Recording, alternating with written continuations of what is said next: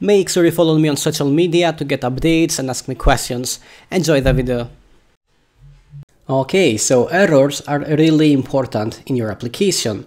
If the user tries to log in but the credentials are not correct, then you should notify the user with an error message. We saw that in the previous video and we also took a look at throttles when we banned the user after trying to authenticate with wrong credentials. So we do get an error message when we have wrong credentials, but when we get banned, we get a page that displays the error with an ugly format. So what I will do now is to enter the wrong credentials for this account until I get banned. Okay, so after entering incorrect credentials six times, we get banned and this is the page. So let's do something about this and display this error message in a more user-friendly way.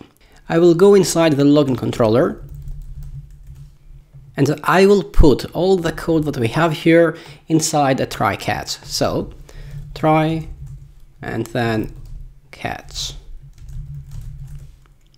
Okay, so everything will go inside the try. So we try this, and otherwise we are going to catch some errors. So number one is to catch this throttling exception, alright? So let's import this throttle exception.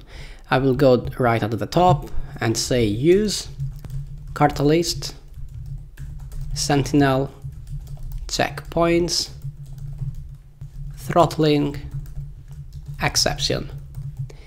Okay, so let's now use this. Throttling exception. Perfect.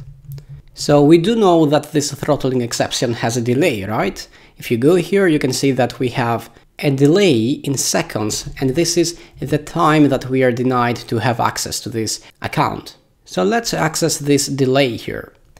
Delay, and I will access my delay here. So get delay. And what I will do now is to redirect back with this error. So we have already done this, so I will just copy the return from here. But I will change the error. So delete this and open double quotes.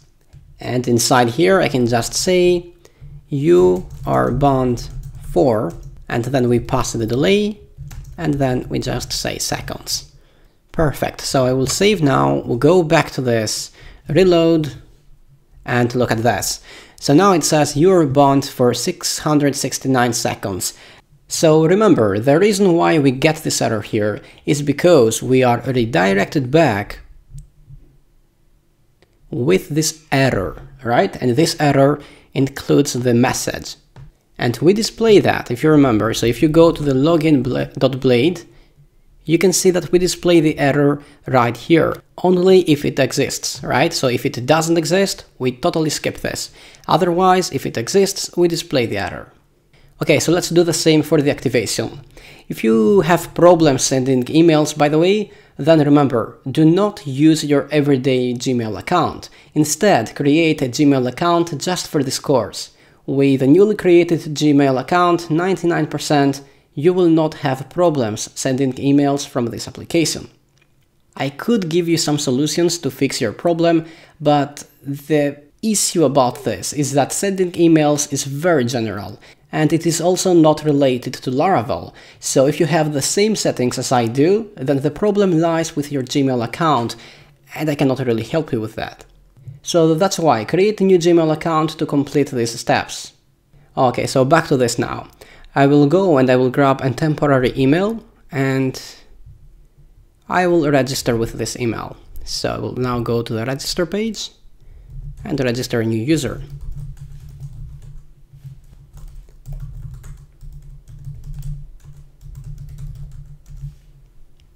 Okay, so we sent the email and of course if I go here, refresh, we now should have the email.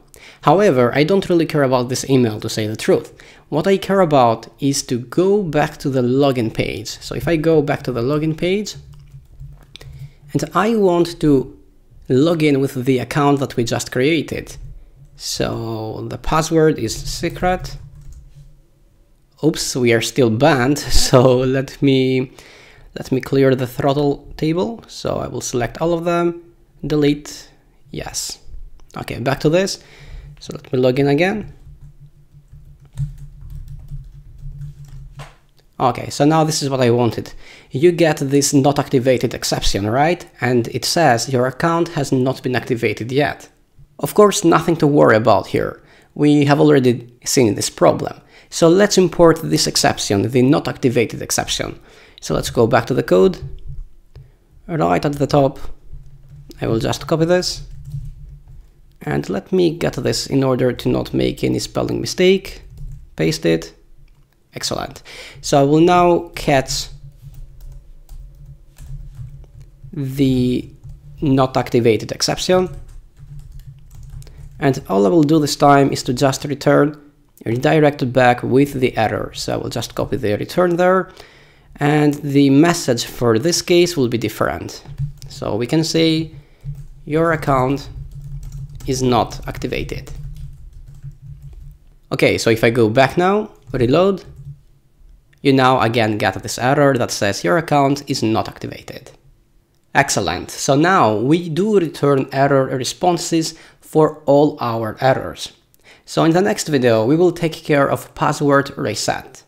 For some reason, I forgot my password.